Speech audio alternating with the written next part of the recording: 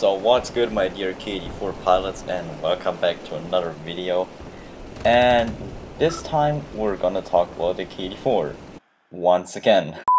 I mean, I just felt like kinda should do this because I once made a video about the P47N and the Ki 84 and how they perform against each other in game and well, the developer responded in some kind of way and actually updated the fly model. So yeah, I just wanted to make like a quick update video or inform you guys about you know what happened, how the fly was updated, if it's good, if it's not. And well, as the intro already implies, it's pretty eh? It was maybe not what I was hoping for. I'll, I'll get into detail about that in just a second. So right here we're in a P-47N, which is, you know, the American top tier aircraft, pretty much the fastest uh, probably the best American plane you can, you can fly. And we're gonna test it out against the new Ki 84. And as you can see, the 84 already starts off with an energy advantage just because of how well this thing climbs.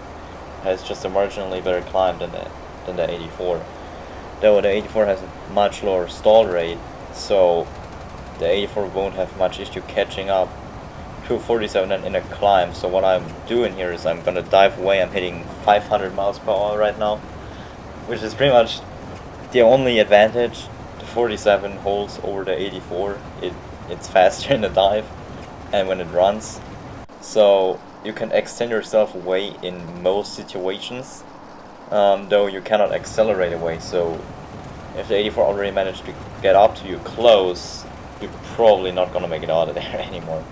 Which is going to happen to me later on in this fight. I'm Just gonna spoil it right here.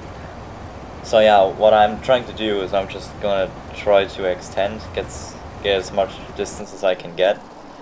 And once I got a lot of distance, which is actually the case now, I'm gonna gently climb off hoping to get the energy advantage on the 84 and possibly start BNZing it if I can.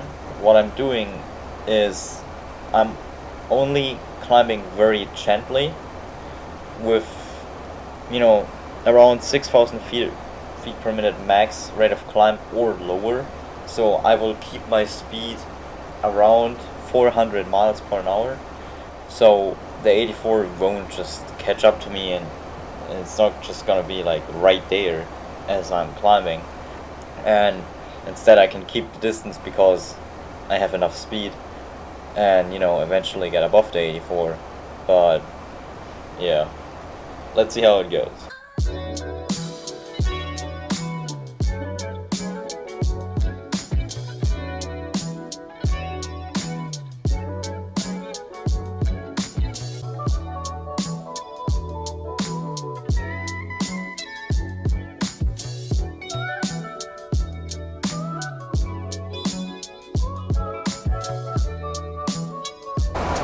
Alright, so now I just pretty much did what I said I would do, which is just keep spiral climbing and keep your speed up as good as you can, and I brought the fight up to a lot of altitude as you can see. However, I can still not out climb the 84 because, as I said, it's got a very good rate of climb and a good stall rate, so what I'm doing is I'm trying to force the head on, which did not work out at all, as you just saw, and I don't have any energy to turn right now. But I see the 84 going down, so I'm trying to go up. But it looked like the 84 lost some energy, but it really didn't. It just just keeps its energy. I'm trying to outstall it, which obviously won't work, and it's catching up. So I'm trying to put myself into a dive, but it's already too late. And yeah, that's where my plane just pretty much gets torn apart, as you just saw. So yeah, it's really like the 47 and it dives better than the 84, and that's it. and legit does everything else worse. I mean, it carries more ordnance, it has more fuel. Besides that, really, you won't outperform the 84 and the 47N.